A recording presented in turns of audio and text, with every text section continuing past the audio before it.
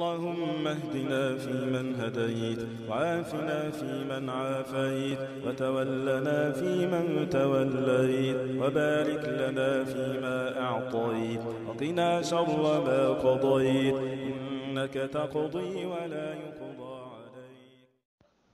ওয়ালাইকুম আসসালাম রহমতুল্লাহি ওবারাকাতুহু একবারের প্রশ্ন হচ্ছে, আমরা তো জানি যে সুদ দেয়, সুদ নেই এমনকি যে সুদের কাগজপত্র লেখালেখি করে, তাদের সকলের উপর আল্লাহ লানত মানে তারা অভিশপ্ত। যারা সুদি ব্যাংকে জব করে, তাদের দেখা যায় বিশাল অঙ্কের স্যালারি পেয়ে আরাম আয়েসে দিন পার করছে বা করে। তাদেরকে এই সুদের ব্যাপারে বলতে গেলে তাদের ভাবভঙ্গি থাকে। তারা তো বেশ ভালোই আছে, এত এত টাকা, গাড়ি বাড়ি, তাহলে লানত কোথায়? শেখ আমি জানতেছি যে, জানতে চাচ্ছি যে এই লানতটা তাদের উপর কীভাবে আল্লাহর বর্ষণ বর্ষণ করেন বা করবেন।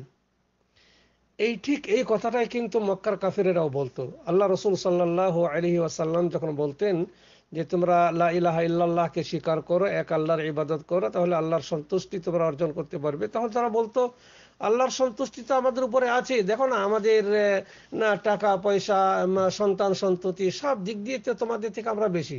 যারা ইসলাম গ্রহণ করতো, তাদেরকে বলতো যে ওদের থেকে আমরাই তো সব দিক দিকে বেশি, আমরা সব দিক দিক দিয়ে ভালো রয়েছি বিদায়, এত ভালো থাকাটাও একটা দলিল যে আমরা আল্লাহর সান্নিধ্য লাভে না, বা আল্লাহর নৈকট্য লাভ আমরা করতে পেরেছি। কাফেরদেরও কথা ছিল এটা। যেমন আজকের যারা সুদি ব্যাংকে চাকরি করে, তারাও বলে।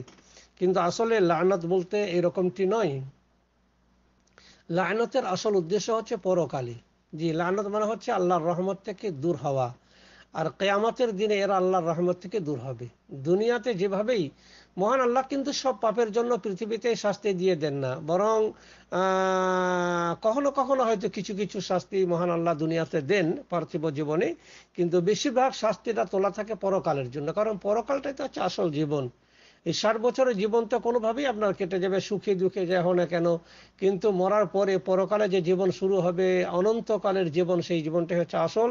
আর সেই জীবনে যদি কোনো ব্যক্তি আল্লাহর রহমত থেকে দূরে যায়, আল্লাহর, আল্লাহ যদি নিজ রহমত থেকে দূরে ঠেলে দেন, তাহলে তার মতো হতভাগা তার মতে না আর হতভাগা কিংবা তার মতে কে বলছে আপনার খারাপ মানুষ আর কে হতে পারে। বিদায়। এরকম মনে করলে হবে না যে যারা সুদি ব্যাংকে চাকরি করছে তারা ভালো স্যালারি পাচ্ছে, খাচ্ছে যাচ্ছে তার মানে তাদের কোনো রকমের অসুবিধা নেই। সমস্ত রকমের সুখ তারা লুটে নিচ্ছে। এটা কিন্তু মনে করলে হবে না। কারণ কেয়ামতের দিনটাই হচ্ছে আসল দিন। যেদিনে সামান্য একটা রহমতের জন্য মানুষ কি করবে? ছোটাছুটি করবে। আর এই সমস্ত লোকের আল্লাহর রহমত থেকে কি হবে? দূরে থাকবে আল্লাহর রহমত থেকে বিতাড়িত হবে। এটাই হচ্ছে আসল উদ্দেশ্য।